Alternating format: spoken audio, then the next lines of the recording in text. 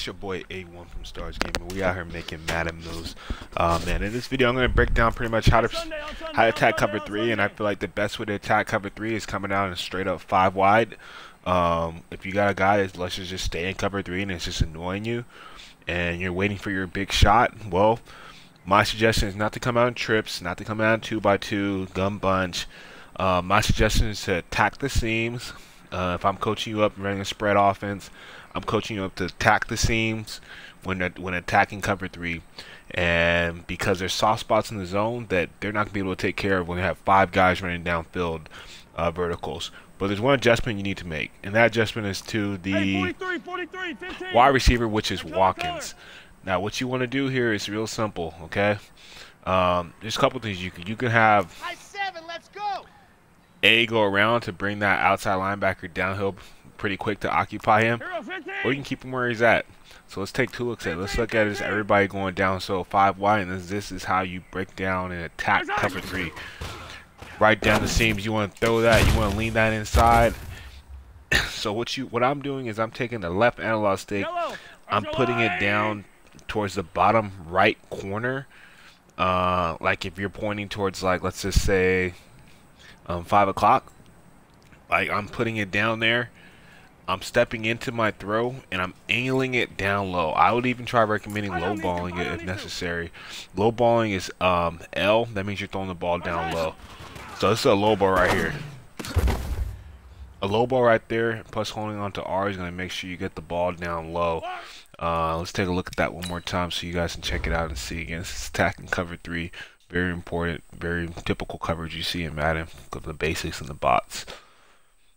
Right here, we're stepping in. We're pressing L and R.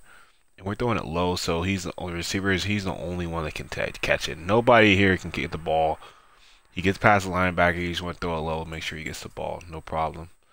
Uh, one thing I will recommend is that this uh, I don't recommend throwing the low ball when you are seeing somebody underneath. If you're seeing someone over top, okay. But we, like in this type of situation right here, I don't recommend throwing a low ball. So let's just take a look at it and see what happens. This time we don't have five guys going deep. We have one guy going underneath to one of the uh, the sides of the seam routes. So let's check it out. He caught it. I don't like doing it, but it'll be there just because Mahomes pretty elite. Let's do it again. This time we're not going to low ball though. We're just going to throw it. Uh, for the most part, it's accurate. You know what I mean? Like it's gonna, it's gonna get there. Same thing. We're attacking the seams. We're attacking the seams. We're attacking the seams. He dropped it right there. That was the first time he dropped it in the past like three minutes, so it's like it's not bad.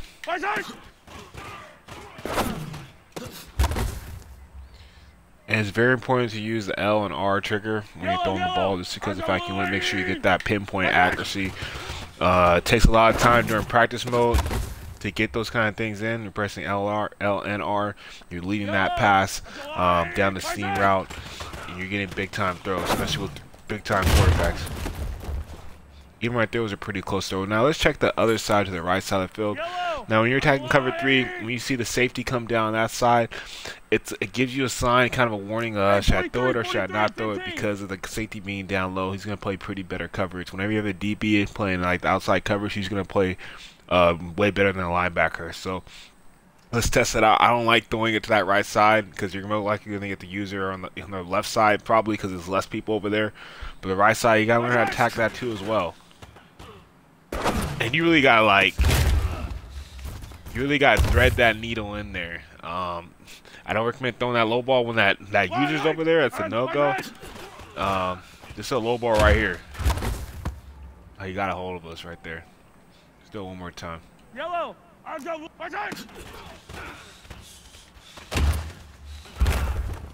Hold on, hold on. Okay, Casey, you want to be practice player of the year? I see you, big dog.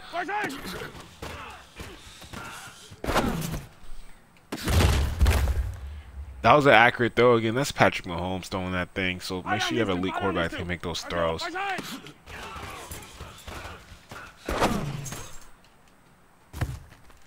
Yeah, I don't recommend throwing it. You can try attacking it deep. It's pretty tough. Um, so looking at the deep ball in it, we'll attack Y first.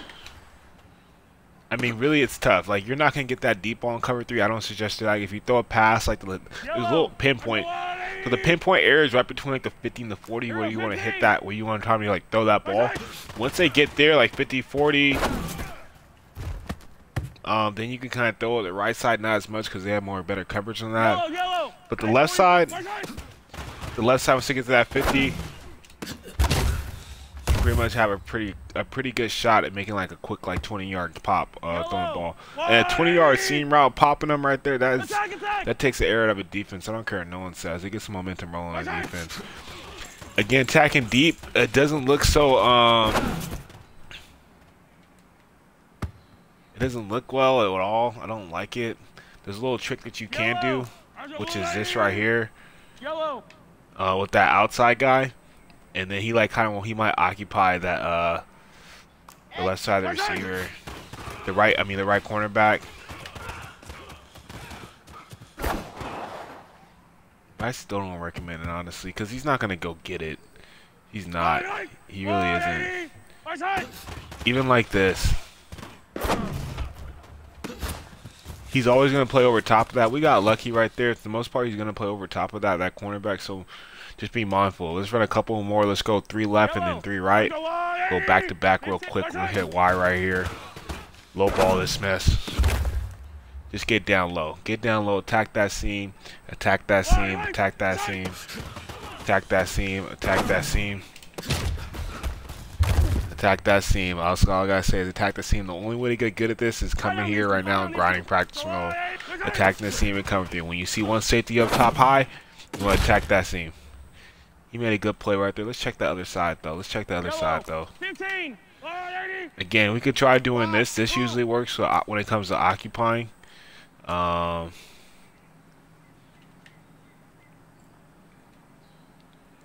sometimes. See. I'll check that. Keep it. Keep it basic.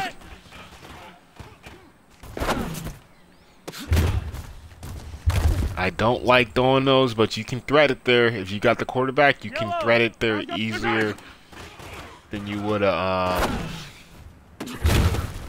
like any other guy. Right there, you see it's a tough ball to throw on the right side where the DB's at. But again, you gotta be able to throw both sides, man. I'm telling you. Um, but that's attacking cover three. That's attacking cover three right there. Attacking the seams. When you are attacking cover three, I recommend coming out five wide. Uh, your boy when is out. Hit the subscribe. Follow us. You see the link. You know what time it is.